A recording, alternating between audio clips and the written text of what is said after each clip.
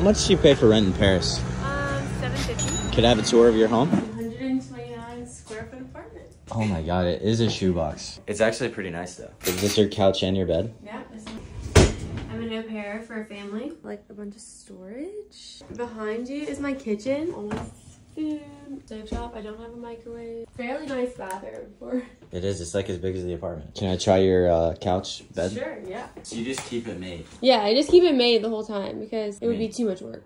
I would. I, I gotta bring up the Emily in Paris thing. Did you watch the show or no? Of course. I watched it before and then I watched it again whenever I was here. The dream to move to Paris or no? I have absolutely loved it.